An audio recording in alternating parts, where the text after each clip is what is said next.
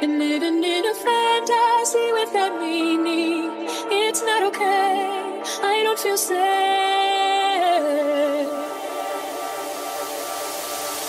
Left broken, empty, and despair. Wanna breathe, can't find air. Thought you were sent from above, but you and me never had love. So much more I have to say. Help me find a way. And I wonder if you know how it really feels to be.